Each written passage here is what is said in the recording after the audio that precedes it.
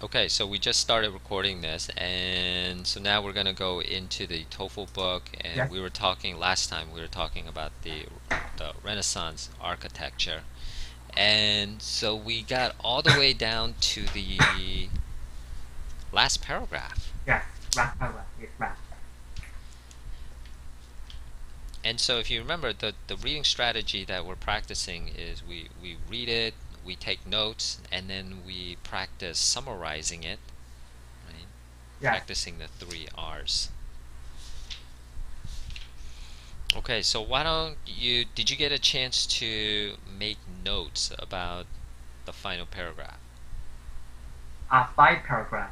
Uh, the final paragraph. Uh, final paragraph. Ah, yes. Uh, I haven't thought of the summarizing of the five paragraph. Okay, well, if you remember, you had those notes, right? You had those notes that you were making. You made notes for the second paragraph, and you also made notes for the third one, which was really good. So why don't you go ahead and open that document and let's take a look at that and make notes for the fourth paragraph. Make notes about fourth paragraph. hmm Sure. Uh, sure. Yes. So I should. You uh, can go into screen share. Yeah, screen share. Yes, I should screen share. Yes. So I just turned on my screen share. Share. Okay, okay. Yes. Yes. Okay, so we got the notes ready. So let's go ahead and take a look at page 170. Yeah. And we're going to go ahead and practice reading some of this. And then we'll make the notes. So we have perhaps the and shadow reading. So we have perhaps the second most influential architect of the Renaissance was Donato Bramante whose work is typical of what is called High Renaissance architecture. The High Renaissance took the High Renaissance period took place during the late 15th and early 16th centuries and is characterized by an almost universal mastery of classical forms by architects from all over Italy. Okay, so try those two sentences. Yes. Perhaps the second most influential architect of the Renaissance was Donato Bramante, whose work is typical of what is called High Renaissance architecture. The High Renaissance period took place during the late 15th and early 16th centuries, and is characterized by an almost universal mastery of classical forms of architecture from all over Italy. Okay, so let's let's go ahead and make some notes about those first two sentences that we read. And yeah, sure. And I think the the key point is the second most influential architect. And Mhm. and he is a he is a Donato uh, Donato Bramante. hmm And I think that um, I think that the other important thing is that uh, yes, the high Renaissance architecture, the trade of the high Renaissance, the trade of the high Renaissance architecture, and the uh, high Renaissance architecture trade is the trade is the uh, almost universal uh, is characterized by an almost universal mastery of classical forms. Yeah, that's right. Yeah, so we have, you know, the person, right? We have the person, uh, Donato. Then we got what, what are we talking about? The High Renaissance. And then what is the characteristics? Then we got the universal mastery of the classical uh, architecture or forms. I think one other uh, detail that you could add is the time period, which is from the 15th century into the 16th century. 15th century and 16th century, right? Mhm. And Donato, uh, he's the he's the second, sec, second, uh, second influential, second the most influential architecture. Mhm. Influ, uh, influential architecture uh, in Renaissance. In, Renaissance like this. I Yeah, you don't even have to write Renaissance because we know this whole story is about Renaissance. So, but R- RS is okay. yes, and and uh, and his and his his work is typical of the high Renaissance architecture, and Mhm. high high Renaissance architecture is the also important. High Renaissance architecture. Architecture. It's also important. It's also an important thing, and I wanna explain the trade of the high Renaissance architecture. Mhm. Trade of trade of high. Yes, sorry. Oh no, no. Renaissance architecture. Sure, yes.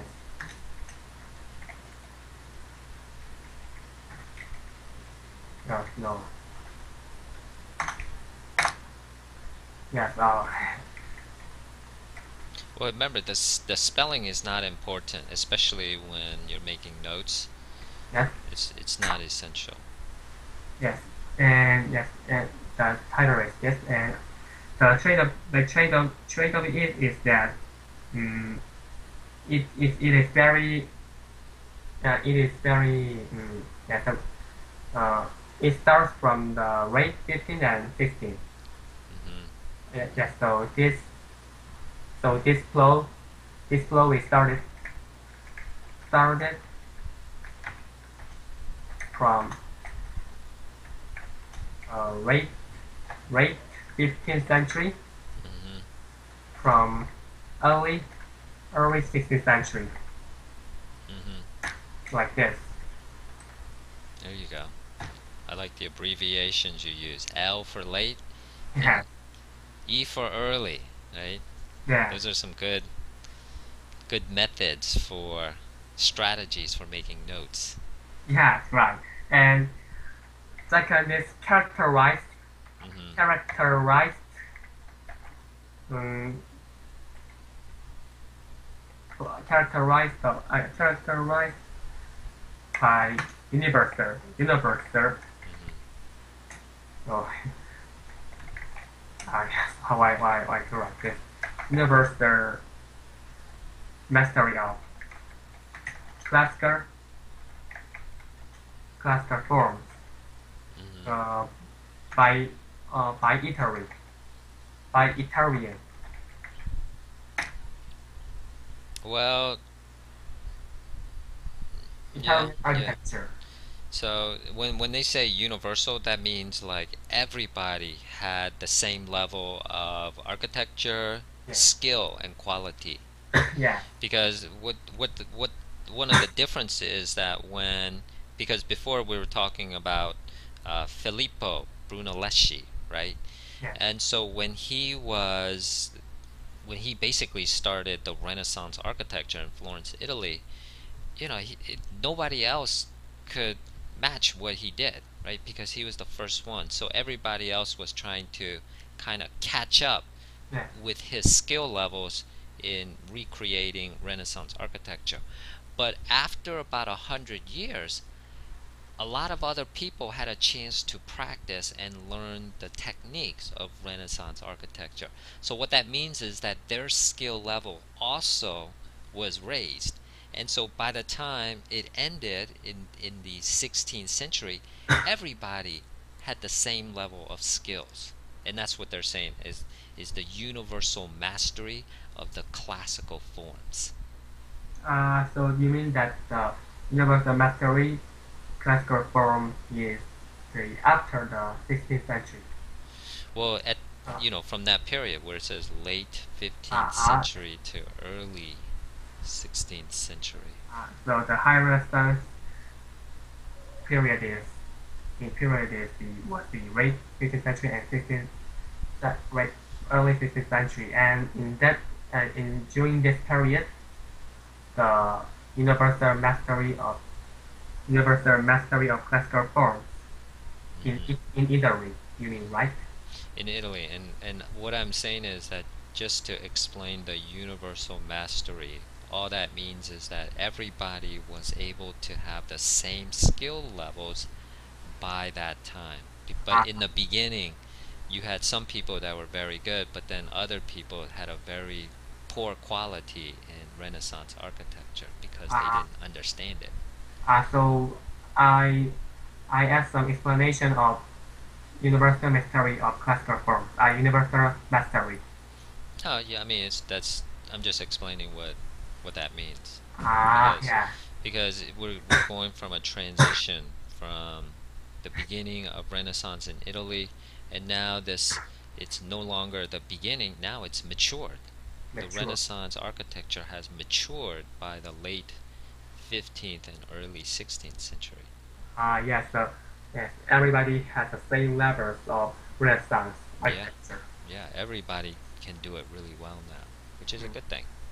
Yes, right. So, uh, yes, that that uh, that that that means that that means that uh, oh, yes, I understand. Mhm. I mean, it's it. I mean, I guess one way to look at it would be like English in South Korea. So probably you know, 30 years ago, you had some students that were quite good in English, but these days, much much more students, many more students, are good in English because everybody keeps practicing. And I- I think the Korean government, at some point, I mean, that's this is the only reason why I can see why they continue to, you know, have students learn English at a very young age. They basically want the entire population, I think, to be fluent in English. I, I, I would think that's what the, the goal is. Mm, And so, but right now it's still not quite there. But if they continue to do it, eventually the entire population is going to be good in English. So, and so it's the same thing with the Renaissance. uh, the same thing. Yes. So, ah, yes, I understand because But you, I mean, you look at it, it took it took almost a hundred years to do that. Yeah, hundred years. Uh, yes, right. So, Well, let's do this. Let's you you made the notes here. Now let's go ahead and practice summarizing by term. mhm, the first two sentences. What is that about? Mm, uh, yes, I started. Yes, I Mhm, started. mhm, mhm. Donato Bramante is the second most influential architecture in Renaissance. His artwork, his artwork is high Renaissance art. It's a typical of high Renaissance architecture, and the trade of the architecture. Uh, uh, yeah, yeah, yes, the high Renaissance architecture was started from the late 15th century to the 1950 uh, uh, to early 16th century and it is characterized by universal mastery of classical forms by Italian. Mhm. Yeah. Mhm. Yeah, Right. that's that's right. That's right. So now let's let's just try it one more time. And why don't you? You don't have to do it so fast. You can take your time with it. Right?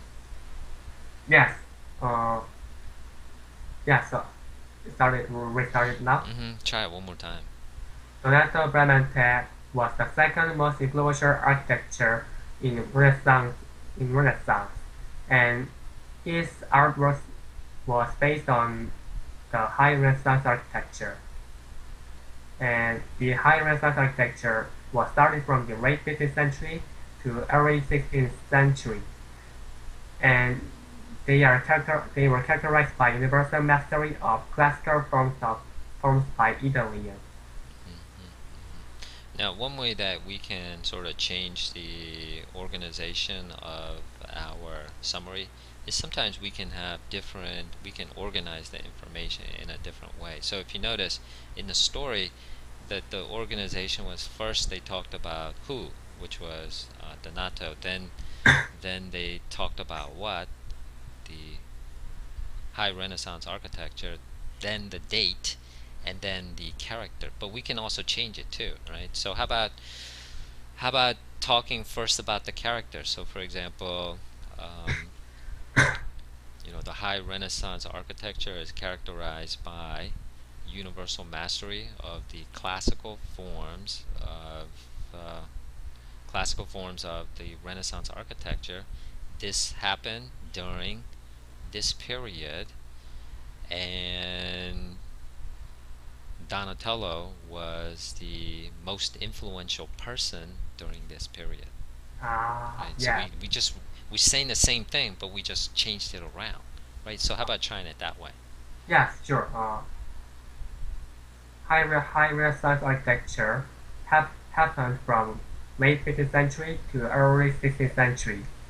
At this at this period, Donato Bramante was the second most, influential architecture in Renaissance, and his artworks were based on the typical of high Renaissance architecture.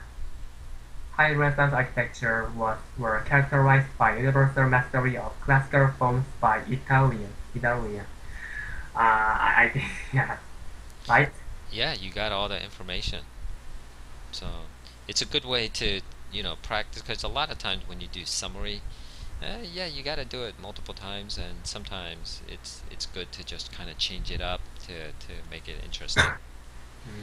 Yeah. Well, let's go ahead and continue reading the next part of the paragraph. So we have often cited as a near perfect piece of high Renaissance architecture, Bramante's Tempietto.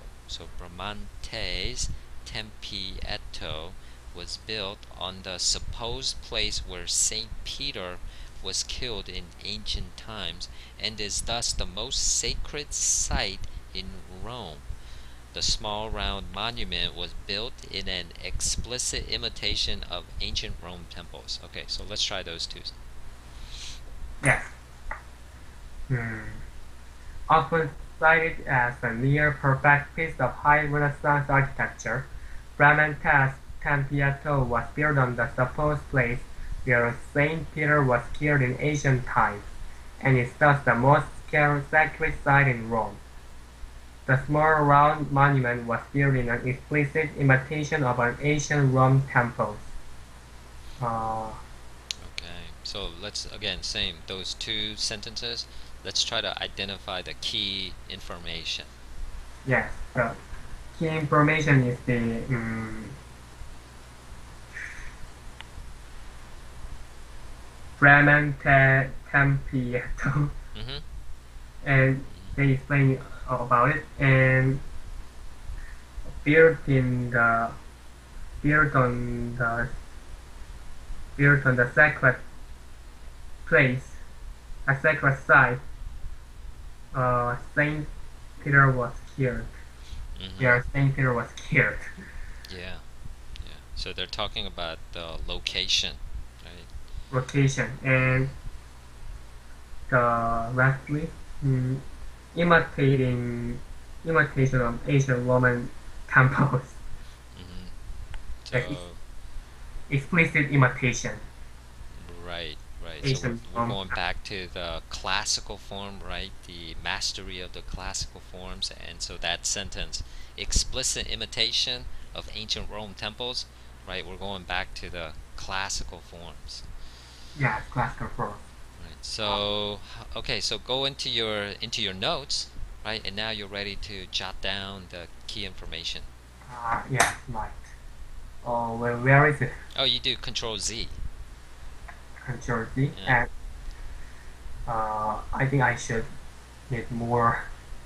Uh, how, how can I do it? Oh no. Control Z again. Okay, so you got to go out. If you click outside the box on the right side, click outside the box on the right side. Yes. On the right side. Uh, on the right side. Uh huh. Okay, now press Enter.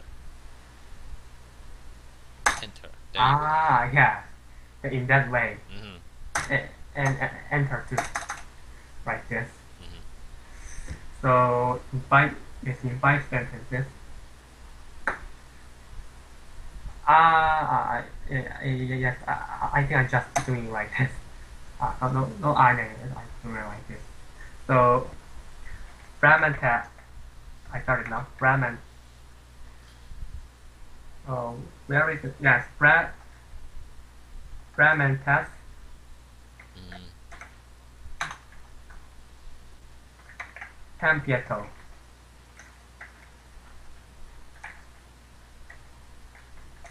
yeah, yeah, sorry, yes. Uh, So remember, in the notes, spelling doesn't matter.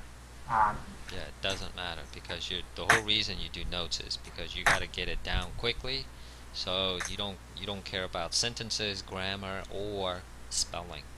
yes. And tempesto. hmm And built-in built-in the most sacred place sacred place in Rome. In Rome. Where I uh no no no I I, I need I need not to yet where? Where the Peter was here. Was here this in this this way hmm and uh, and adapted yes and second change is the adapted ah find the right yes, adapted uh ima, imitation of imitation of the ancient Roman temples hmm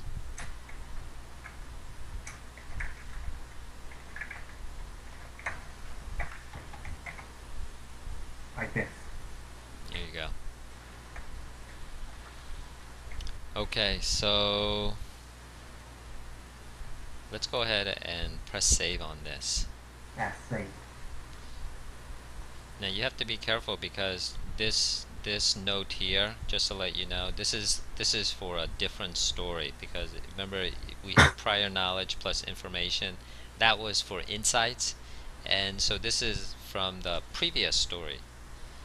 yes previous story hmm And so the the notes that you're making on here, this is paragraph four, but you're you're it's you're using a different document.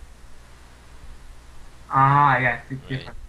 So I, I So you're Ah. gonna have to copy paste it into the other one because maybe a couple days later yeah, you're gonna you're gonna look at and you're gonna maybe forget oh where where's my notes do, do you understand what i'm saying yes. So so you mean that save it, save it to. So so can you explain one, more time? well you you- this this this part of the notes Yeah. You're using it for a different story you because we said large code of ethics in the field of art conservation Yeah. interventive preventative that story was the art restoration and conservation Our restoration and con- conservation. Ah, so I should change the title. or you you have to copy and paste it because remember you also made notes for paragraph 2 and 3 in Ah, in ah. a different document Ah, yes. So Right. different document. right so as long as you make note of that right so you you want to make sure that Ah, yeah, sure. I I understand. So that way, you know, you'll you'll know when you open it. Oh, okay, I know where to look for it. Right? That's that's the key. and and I uh, and, uh, and I find uh, this this part this file, I think, and like yes this That's the one. There you go. oh why is oh why is this is moved Maybe it, um, hmm. oh why is why it is like this well, you so you don't. I mean, as long as you know what to do, so you know part of it is on that other page, so you just have to copy and then paste it into the page you have there.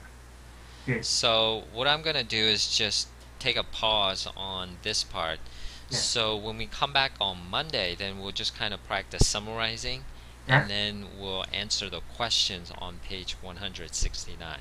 yes All right, so let's uh, call it the night. So you have enjoy the rest of your weekend, and then I'll see you on Monday. Okay. Yes. Alrighty. Have a good one. Bye.